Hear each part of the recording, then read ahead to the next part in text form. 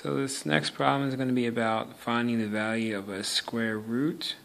Um, in case you don't know, this little funky symbol here is called a square root sign.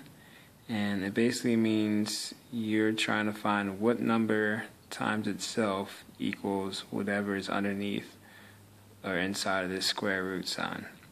So this question is asking us to find the square root of 820 is a number between and they give us two sets of numbers because there's no whole number times itself that equals 820 so it's going to be some kind of a decimal number in a decimal. You know if it, it works out perfectly it'd be a number like 49 like the square root of 49 equals 7 because 7 times 7 equals 49. So the square root of 49 would be 7. Or you could say 7 squared equals 49. That's the same thing.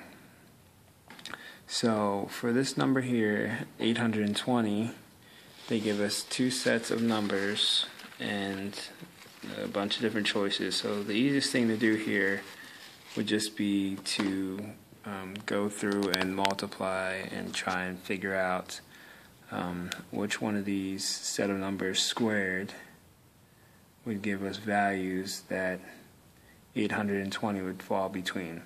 So I just start off with the first one here and do uh, 20, 20 squared and we want to find out if 820 is between 20 squared and 30 squared. So we do 20 times 20 equals 0, 2 times 0, 0.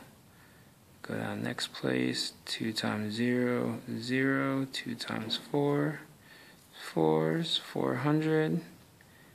30 squared equals, write it out, 30 times 30 is 0. I'm not going to go through the steps, just put a placeholder there for the 0 or for the, the 30, 0 there. Then the next one is 3 times 0, 0, 3 times 3 is 900. So is 820 between 400 and 900? Yes, so we lucked out on that one. It's actually the first one that we did. So, but just to show you one that, you know, wouldn't work out, we'll take uh, 40 and 50 here and say is 820 between 40 squared and 50 squared. Take 40 times 40 Just put the zero placeholder there. Zero, four times four, 16. You can see right now it's already not going to be because uh, 40 squared is 1600. The number we're looking for is 820. So, but I'll keep going anyway just for you guys. And 50 squared times 50, put the zero placeholder.